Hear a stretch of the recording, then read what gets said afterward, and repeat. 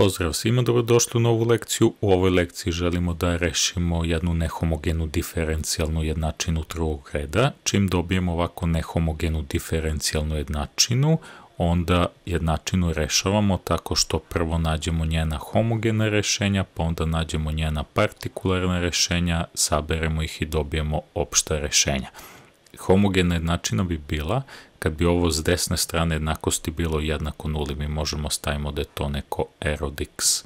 Ajmo prvo da rešimo homogenu jednačinu, dakle da pretpostavimo da je sa desne strane nula, da izjednačimo sa nulom, dakle y sekundum plus 3y pri minus 4y jednako nuli, formiramo karakteristični polinom lambda na kvadrat plus 3 lambda minus 4 da je jednako nuli i rešimo kvadratnu jednačinu, dakle lambda 1, 2 jednako minus 3 plus minus koren iz minus 3 na kvadrat, to je 9, minus 4 puta a puta c, to je 4 puta 1 puta minus 4, to će biti plus 16 kroz 2.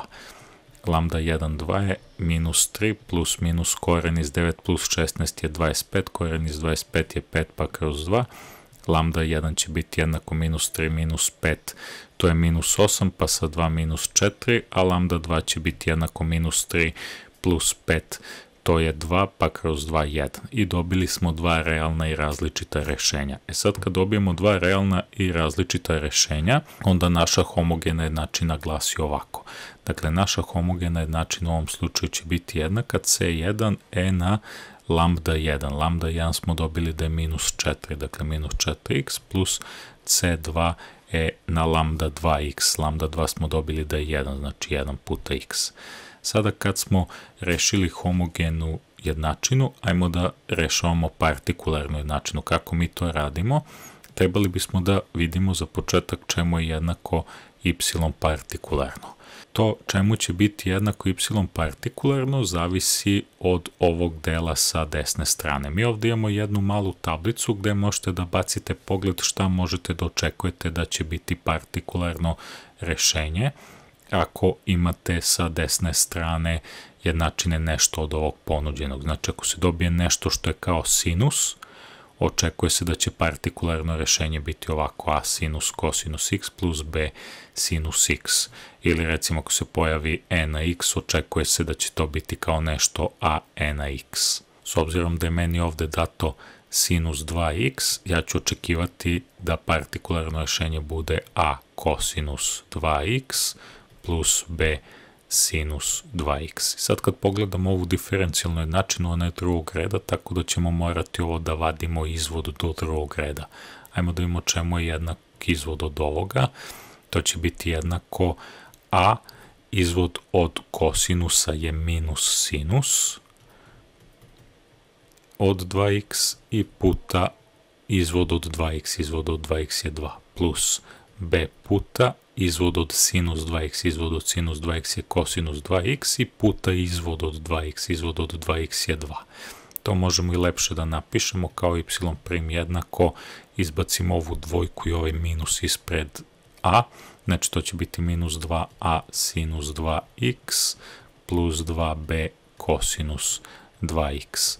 I onda tražimo drugi izvod od toga, dakle drugi izvod izvod će biti jednak izvodu ovog prvog izvoda, znači bit će jednak minus 2a, prepišemo, tražimo izvod od sinus 2x, izvod od sinus 2x je kosinus 2x i moramo da nađemo i kosinus od 2x, kosinus od 2x je 2 i imamo ovde plus 2b, tražimo izvod od kosinus x, to je minus sinus 2x i tražimo izvod od 2x, to je 2.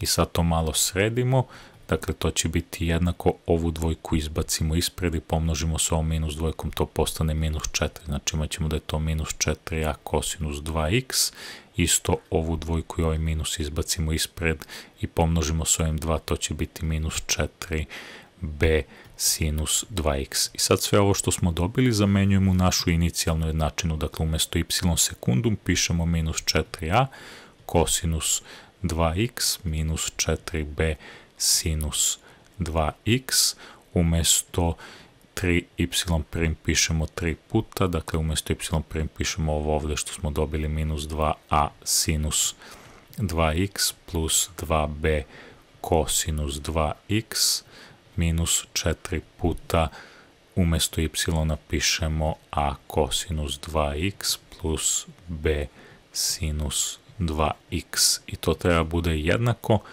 5 sinus 2x.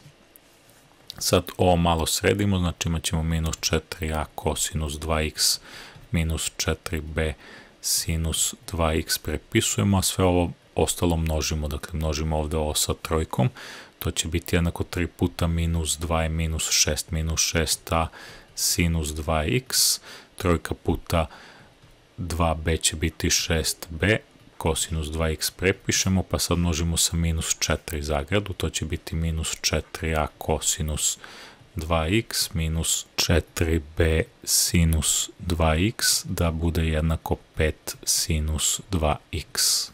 I sad uzmemo sinuse, tražimo gde imamo, pa izdvojimo i tražimo kosinuse pa izdvojimo. Što se tiče sinusa imamo ovde 1, 2, 3 sinusa.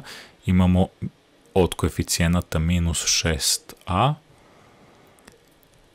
i imamo minus 4b i minus 4b, to je minus 8b, znači minus 6a minus 8b sinus 2x pa izdvajamo za kosinus, ovdje imamo minus 4a i minus 4a, to je minus 8a, aj stavit ćemo ako plus minus 8a i imat ćemo plus 6b kosinus 2x da je jednako 5 sinus 2x. I onda izjednačavamo koeficijente, znači ovde ova zagrada bi trebala da bude jednaka 5 minus 6a minus 8b treba da bude jednako 5, a sa druge strane ovo ovde će biti jednako 0, pošto ovde sa desne strane imamo praktično kao da smo napisali 0 puta kosinus 2x. Znači minus 8a plus 6b da je jednako 0.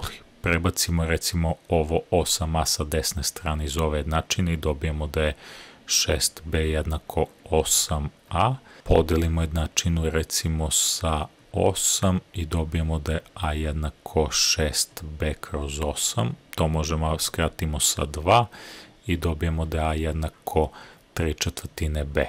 Kad smo dobili da je jednako 3 četvrtine b, zamenimo u ovu drugu jednačinu i imamo da je to jednako minus 3 četvrtine b minus 8b ovde sam šesticu zaboravio napišem, znači minus 6 puta 3 četvrtine b minus 8b da je jednako 5. Ovde možemo da skratimo šesticu i četvorku sa 2, ovde će ostati 2, ovde 3, znači imat ćemo 9 polovine b, minus 8b da je jednako 5, pomnožimo celu jednačinu sa 2, imat ćemo minus 9b, minus 16b da je jednako 10, odnosno imat ćemo da je minus 25b jednako 10, to jest b će biti jednako minus 10 kroz 25, b će biti jednako minus 2 petine. Kad smo dobili koliko je b, onda ubacimo u a. Znači ovde će a biti jednako 3 četvrtine puta minus 2 petine. To će biti jednako, ovde skratimo četvorku i dvojku, bude 1, bude 2, 3 puta 1 je 3, 2 puta 5 10 i minus prepišemo, znači a će biti jednako minus 3 desetine. Dakle, dobijamo da je naše partikularno rešenje jednako a smo dobili da je minus 3 desetine, kosinus 2x prepišemo, plus b smo dobili da je minus 2 petine, sinus 2x i sad dobijemo naše opšte rešenje tako što saberemo homogeno i partikularno rešenje. To je dalje jednako homogeno rešenje nam je c1e na minus 4x plus c2e na x, a partikularno je minus 3 desetine kosinus 2x minus 2 petine sinus 2x. I to je, da kažemo, opšte rešenje ove naše nehomogene diferencijalne jednačine drugog reda. To je to što se tiče ove lekcije, vidimo se u narednoj lekciji, pozdrav i sve najbolje.